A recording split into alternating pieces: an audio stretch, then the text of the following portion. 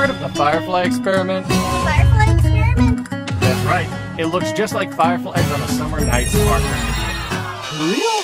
How can an experiment be so dreamy? Today, we're going to make a supersized one as a gift for Children's Day. Let's try a small version first. First, draw a bit of ammonia water. Let it sit and evaporate. Then add a scoop of chromium trioxide. Heat it until it glows slightly red. Finally, quickly pour it into the test tube, and then you'll see... See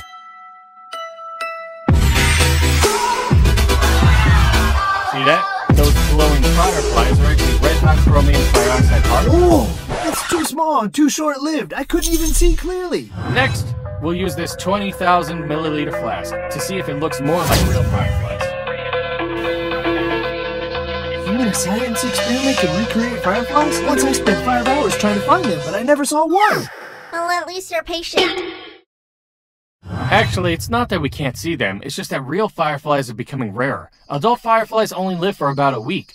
During that time, they glow to find mates, but if artificial lights interfere, they can't reproduce normally and slowly die out. Oh no, will we never see fireflies again? Don't worry too much. Science can simulate nature and also protect it. If we remember this beauty and keep exploring with curiosity, maybe one day, the glow of those fireflies will once again light up the whole planet.